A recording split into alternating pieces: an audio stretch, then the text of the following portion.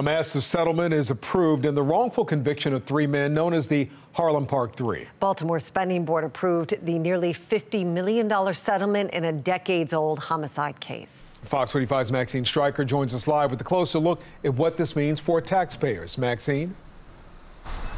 Well, the Harlem Park Three spent a combined 108 years behind bars and are each now being awarded about $15 million in a settlement approved today by the city's Board of Estimates. Now, their case, it dates back to 1983 for the murder of DeWitt Duckett, a 14-year-old who was shot at Harlem Park Junior High School.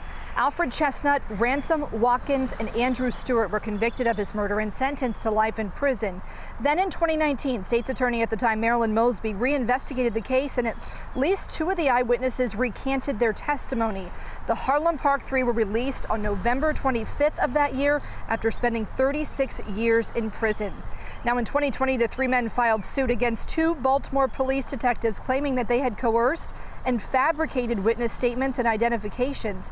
Baltimore Police Chief Legal Counsel today saying because it happened so long ago, it was nearly impossible to corroborate or refute the plaintiff's allegations.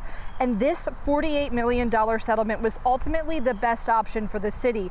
David Williams with the Taxpayers Protection Alliance says it does come at the expense of taxpayers, though bad and corrupt policing has its consequences with public safety, but also now we see that it has consequences with taxpayers when you see this sort of payout. And that's why the police need to be more responsive and understanding of what happens when you have corruption inside the police department. Now, the Board of Estimates, they did bring up concerns about the financial risk that this brings to the city.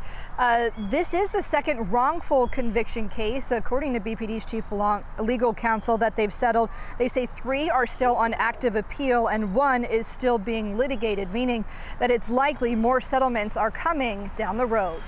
Reporting live in Baltimore, Maxine Streicher, Fox 45 News.